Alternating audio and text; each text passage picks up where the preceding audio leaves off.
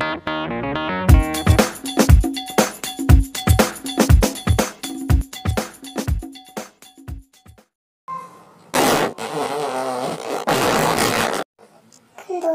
Oh, kentut.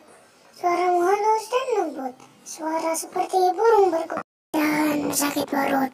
Bila dilepas, bakalan ribut.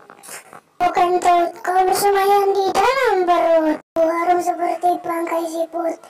Kaulah निम्मेतोच वार्ता रे लोकांका चेड्यांका रे तिला कोणी